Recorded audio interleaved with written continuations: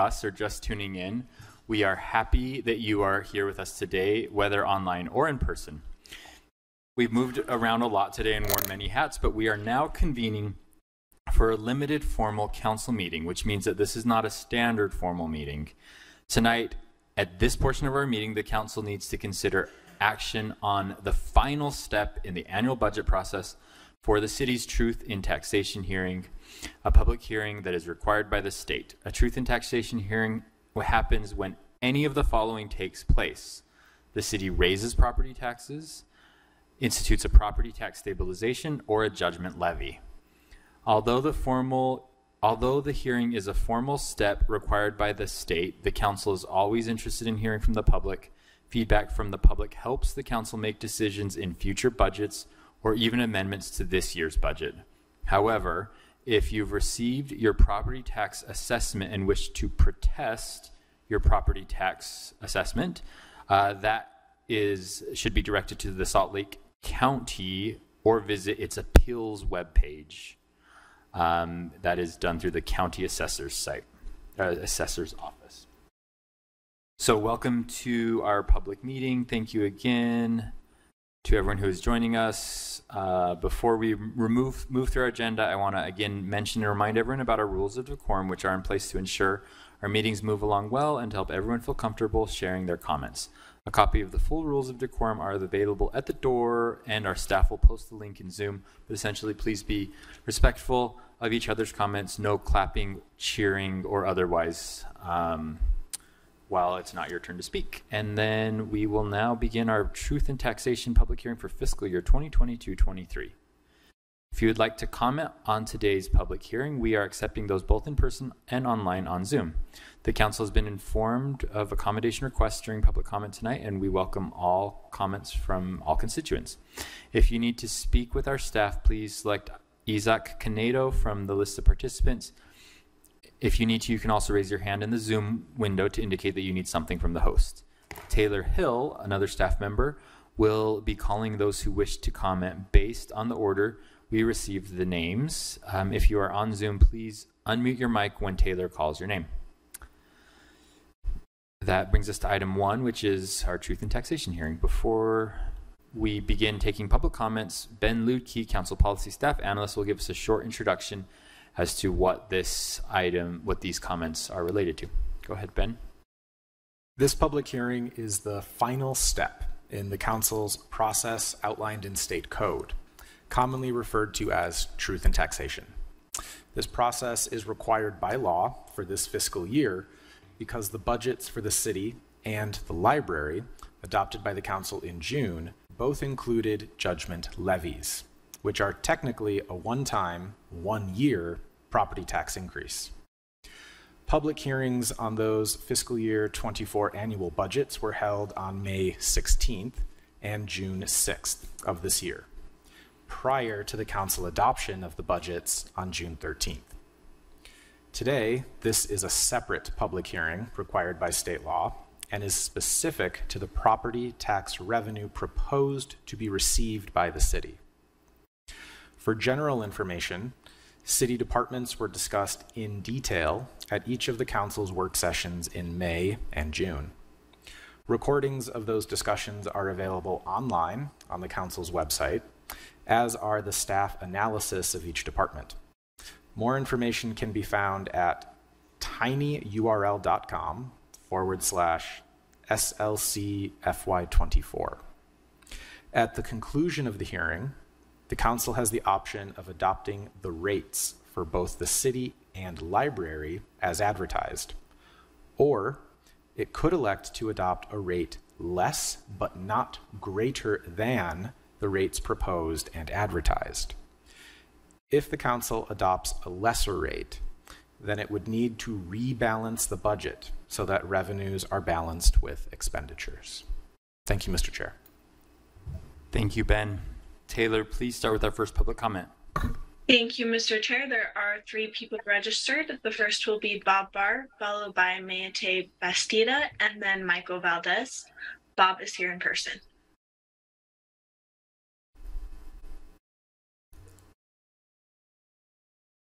Um, my issue is I, I guess a question. The city has posted in the paper a notice of a proposed tax increase based on what appears to be an overtaxation that is being refunded due to a lawsuit. Uh, None of you are familiar with it. A one-time tax levy to pay for a final and unappealable judgment or order to refund property tax to a taxpayer. Uh, One is from the city, the other is the library, which I assume received tax based on this. My reading of this is that someone in the city uh, inappropriately taxed, and I don't know if it's a single individual, I tried to get information on this, couldn't find a thing. But if they taxed the individual and the individual paid it, it went into the city coffers. So I would assume that you would be able to refund from that. Why are we being taxed as taxpayers to refund what you have collected apparently, and I'm not speaking to you individually, but the city inappropriately had in there, you have in your, your ta- collected taxes, why aren't you refunding it from there? Why are we being taxed to make up for that mistake? And who made the mistake and what's happened to them? Thank you. Thank you. This is not a forum where we publicly respond to questions, but that's a super reasonable question to have, and there's an answer. So I'll ask that Ben get with you to help answer that. If Actually, Mr. Chair, can we, just as a do it for the yeah, because I think probably Oh, okay. multiple people have the same question. Um, so, So, um, is it appropriate for us to suspend the rules and ask Ben to help walk through what a judgment levy is? Because that's a super reasonable reading of the words that are very confusing to understand, and we still don't like. Ben, please. So the refund is not to a, a private uh, individual or business. The refund is to the city and to the library. So when a property owner successfully appeals their property tax bill, which is done through the county assessor, as you mentioned during the intro, that is revenue that is not paid to the city or to the library that was due in the previous year. So the judgment levy is a one-time increase to property taxes across the city in order to make up, refund to the city that lost revenue from successful appeals. So, if I could make. Oh, sorry. Go ahead, Councilman Wharton. and this is all, uh, this is state law. This is state law, and it's not just the city and the library. Each taxing entity could go through this process depending on the appeals that are successful. Right, okay.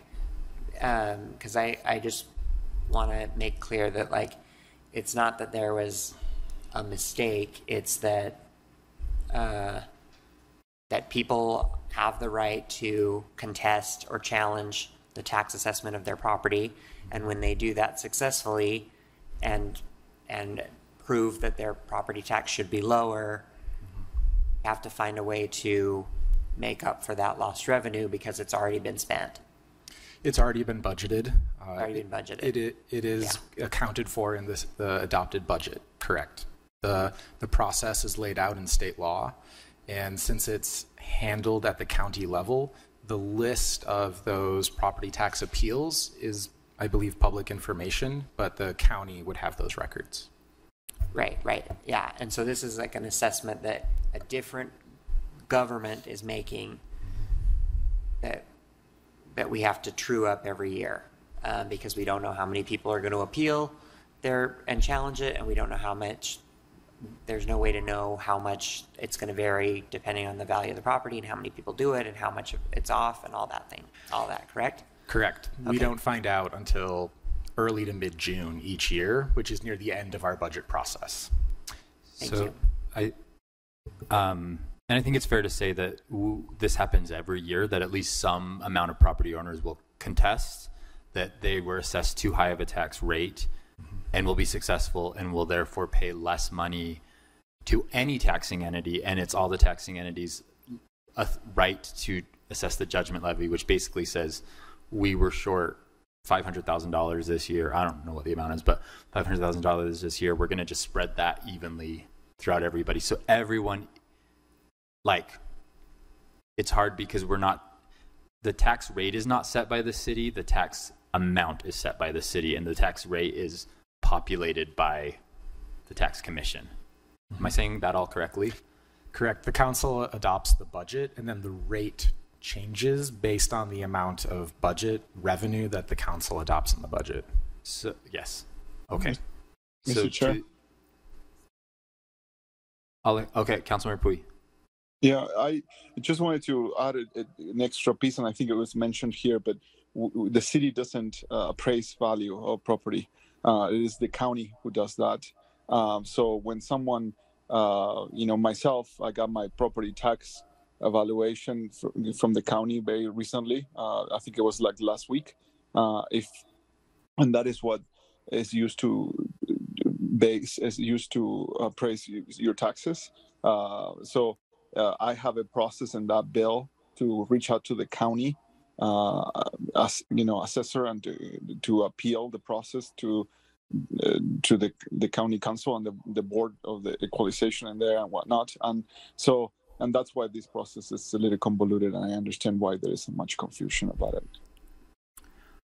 I hope we provided some. I would be not. I would not be surprised if there are still questions. So we have staff members that can help walk constituents through this if they are. Oh, Councilmember Wharton. Just one more question, Ben. So it, we are not uh, here because the council is proposing to increase property taxes for everyone in the city. This is not an ongoing property tax rate increase. This is a one-year, one-time increase to make up for that shortfall. Right. Okay, thank you. All right, let's get back to our public hearing. Uh, Taylor, will you please call the second name? Next, we will hear from Mayate Bastida and then Jim DeSanti. Mayate is here in person. Hello, I'm not sure if uh, maybe I understood the previous um, question. So I've been living for several years in the same place, and uh, just recently kind of uh, got interested in my neighbor's taxes. and uh, I would like to know how come properties that are across my house and size of my house larger than mine, more luxury, has have less taxes than mine. And I would like to know, based on what uh, we are taxed, and where can I find out this information?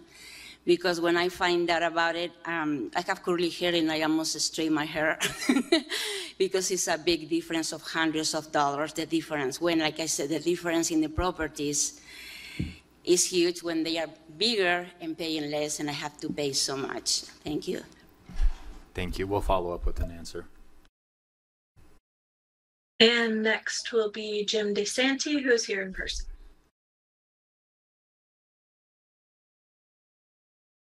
Good evening, council. Um, One question I wanted to ask you is, in any of the districts, are the taxes being lowered on the homes? Yes or no? I- I'd like an answer. I'm sorry, we, we can't do that here, but we can You follow up can't? with you after. It's, isn't taxes public record? Darin? It's public record, yes? Correct? This is not a conversation or a dialogue. This is you giving us comment. I'm asking you a question. Are I'm not going to answer your question. Please continue your comment. Um, I'm protesting my taxes at 931 South, 700 East. And I see a lot of uh, deception taking place on the tax levy, okay, for our taxes. I want you to know that, Darin. How long have you, how, how long have you been in office?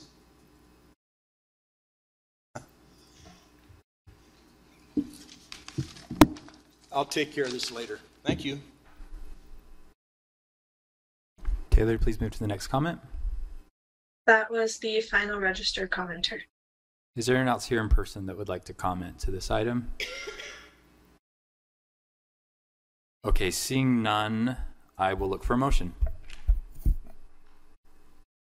Mr. Chair, I move that the council close the public hearing and adopt an ordinance establishing the final tax, final rate of tax levy, including the final levy for the library fund upon all real and personal property within Salt Lake City made taxable by law for fiscal year 2023 to 2024 and ratified the budget as adopted by the council in June. Second. A motion from Councilmember Dugan, a second from Councilmember Wharton. Is there any discussion to this motion? All Um, seeing none, all in favor say aye. Aye. Aye. Any opposed say nay. So that motion passes unanimously with all seven council members present, one online. That's correct. And that concludes our limited formal city council meeting, and the meeting now stands adjourned.